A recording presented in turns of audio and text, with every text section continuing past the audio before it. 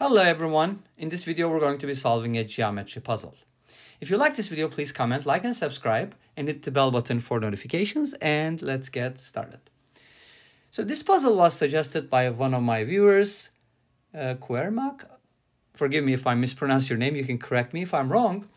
But, uh, you know, you can see it in the comments, and I'll include the link here as well uh, to that video, which the comment was written uh, and then I thought about this problem. It's a really good puzzle, and um, he solved it using coordinate geometry. I'm going to solve it using a different method. Okay, for so thanks for the suggestion.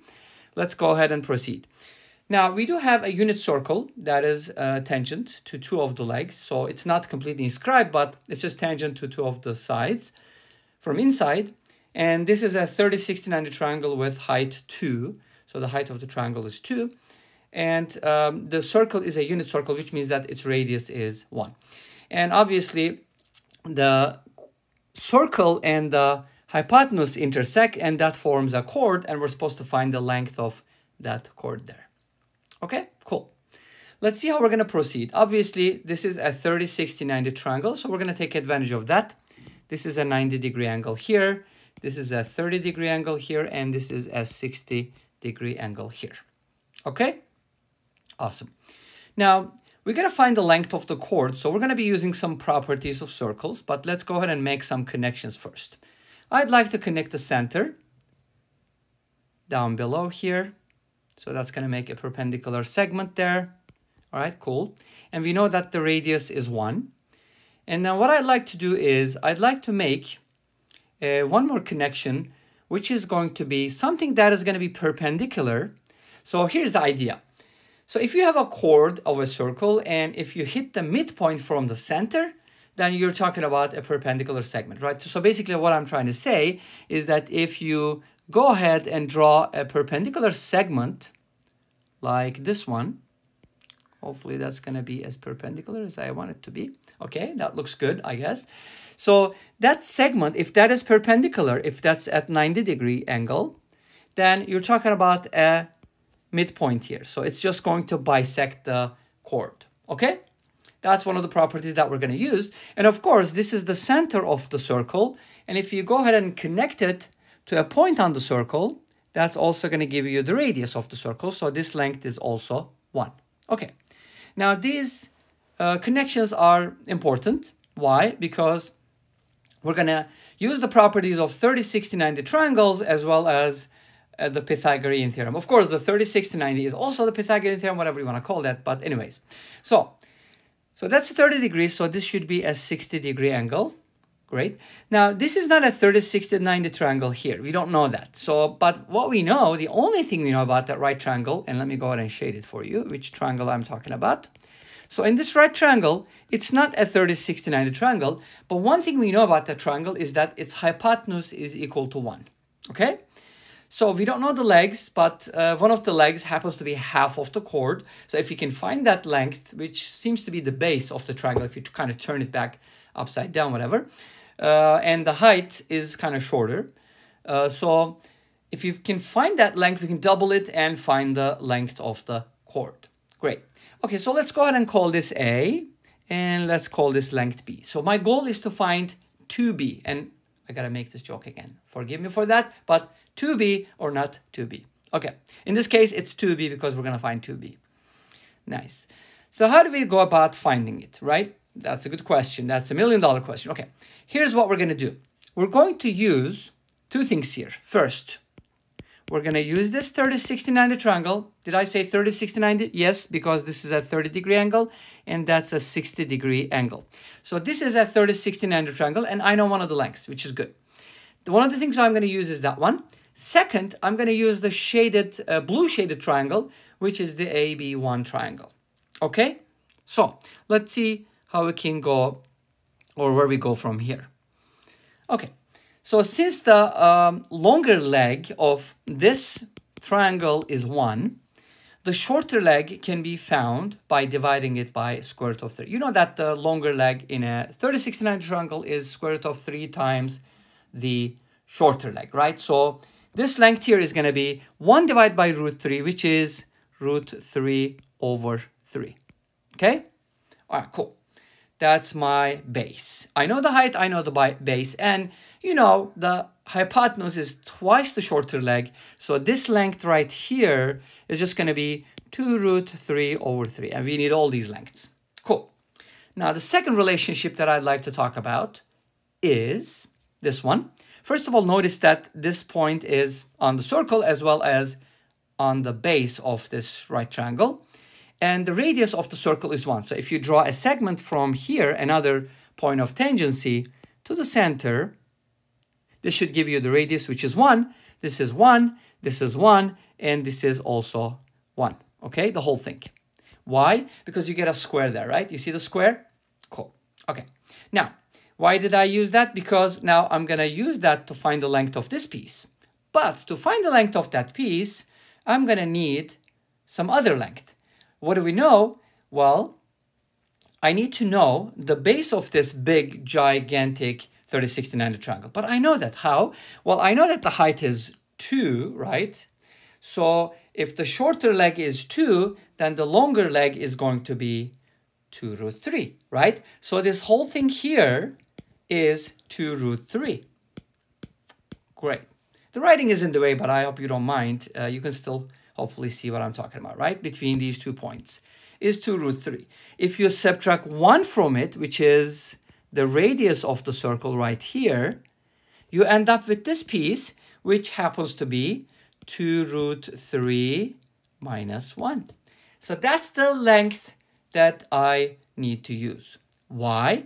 Because I'm going to use this gigantic triangle now, and notice, okay, and this gigantic triangle, what, not the most gigantic one, but the bigger one, okay? It's this one. So I'm going to use that right triangle. How? Well, I can calculate the base because I know that this is root 3 over 3, this piece, and this part is 2 root 3 minus 1. So let's go ahead and write that down. Root 3 over 3 plus 2 root 3 minus 1 happens to be the base of this triangle, okay? Whose base is given like this, okay? You see the dots? I made them bigger. Okay, so that's the hypotenuse. Can I find the shorter leg from the hypotenuse, which happens to be between these two points? Absolutely. Because as you know, in a 30, 60, 90 triangle, the shorter leg is half of the hypotenuse. So if you cut this in half, you're going to get the shorter leg. So let's go ahead and multiply this expression, whatever that is, we don't care at this point, multiply by 1 half, and that should give me what? 2 root 3 over 3 plus a. You see that? Because that's the shorter leg of the triangle that I just shaded. Okay, cool. So this is equal to 2 root 3 over 3 plus a. So my goal here is to find a. How am I going to use the value of a? I'll tell you in a little bit, so stay tuned, okay? But maybe you already guessed because I told you that I was going to use the blue shaded triangle as well. Yes, you guessed it right. If you guessed it right, it should be the Pythagorean theorem. Great. So let's go ahead and simplify this, and I want to find the value of a. Okay. How do you multiply this by 1 half? I would probably make a common denominator inside the parentheses first because it makes sense. And that would look like square root of 3 plus, if you multiply everything by 3, 6 root 3 minus 3 divided by 3, of course. And then this should give you a plus 2 root 3 over 3. Great. What am I going to do next? Well, I'm going to combine like terms. These two are like terms. So that gives me 7 root 3 minus 3, divide by 2, divide by 3. So that means divided by 6 because 2 times 3 equals 6. And I'm trying to find the value of a. So why can't I just go ahead and subtract this number, 2 root 3 over 3, and that's going to give me the value of a, right? Now at this point, obviously, we do need to make a common denominator, and that would be 6. So let's go ahead and multiply the 3 by 2, times 2 here, and times 2 here. So that should give me 7 root 3 minus 3 minus 4 root 3 all over 6 is equal to a. Okay, now this is my a value, but let's simplify one more time. And that should be 3 root 3 minus 3 over 6. Did I say one more time? I meant twice. So let's do one more time. And that should be root 3 minus 1 over 2. Beautiful. That's my a value. Now, why do I need the a value? Because I do have a right triangle whose height is a and whose base is 1 and whose hypotenuse is 1. So I'm talking about this triangle here. Let's use that one. So that triangle looks like this, right? This is A, this is B, and this is 1. And remember, B is half of the chord. So when I double it, I'm going to get the length that I'm looking for. So 2B is the answer. Not 2B, 2B. Okay, anyways. So what do we do? Well, we use the Pythagorean theorem, as I said earlier, right? So let's go ahead and use the Pythagorean theorem, uh, which looks like a squared plus b squared is equal to 1. And we know that a is equal to root 3 minus 1 over 2. So that quantity will be squared, and then b squared will be added, and it's going to equal 1. So to find b squared, I got to simplify this. So I need to subtract this expression from 1, 1 minus this expression squared. How do you square that expression? Well, we're just to square the top and the bottom and divide. So to, if you're trying to square a fraction or a quotient, then you square the numerator and the denominator and take the quotient. Cool. That's to look like what now? This is something like a minus b. If you square a minus b, you get a squared minus 2ab plus b squared.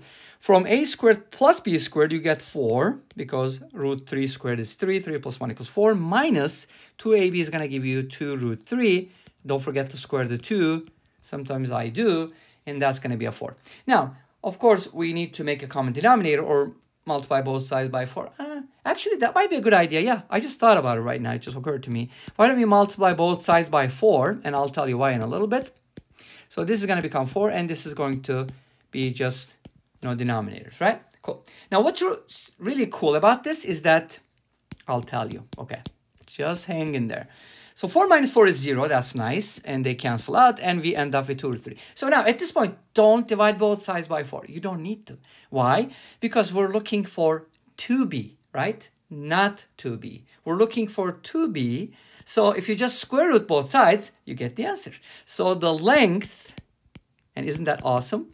Length of the chord we're looking for is 2b, and it's going to be the square root of 2 root 3.